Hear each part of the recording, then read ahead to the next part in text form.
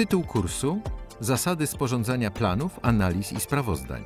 Moduł Plan działania przedsiębiorstwa. Temat Czym jest analiza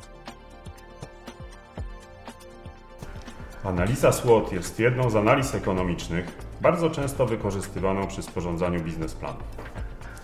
Służy ona do przeprowadzenia gruntownej analizy przedsiębiorstwa oraz jego otoczenia.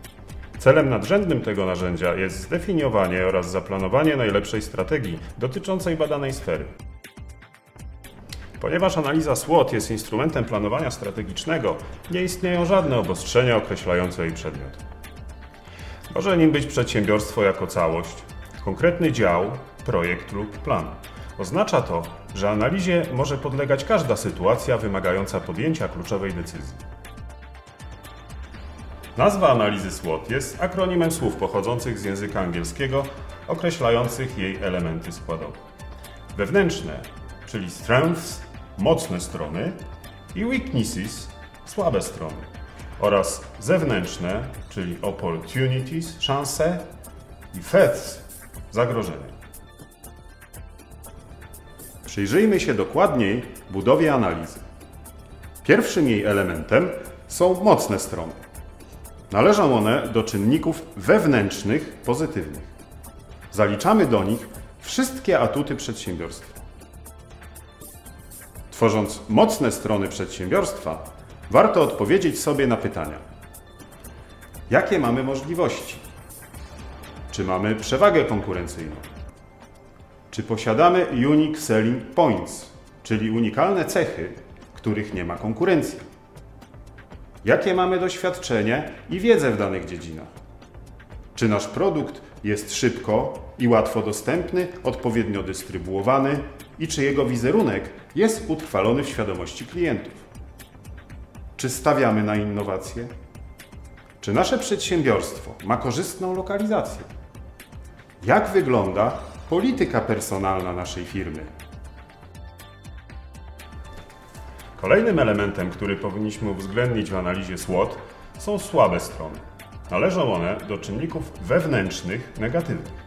Opisując słabe strony firmy, warto odpowiedzieć sobie na następujące pytania.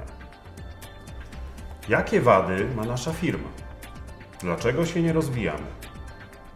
Dlaczego jesteśmy mało konkurencyjni? Z czego wynika nasza słaba reputacja na rynku? Dlaczego nieterminowo realizujemy zamówienia?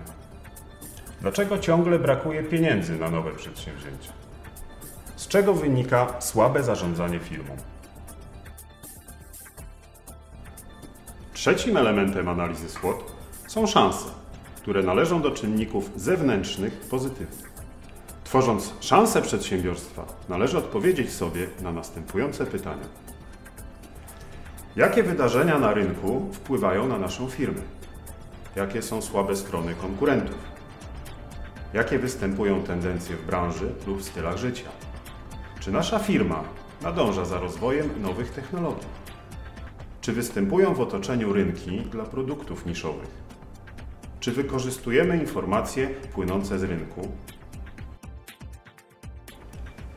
Ostatnim elementem w omawianej analizie są zagrożenia, które płyną z otoczenia przedsiębiorstwa. Zagrożenia należą do czynników zewnętrznych negatywnych. Analizując zagrożenia przedsiębiorstwa, należy odpowiedzieć sobie na następujące pytania.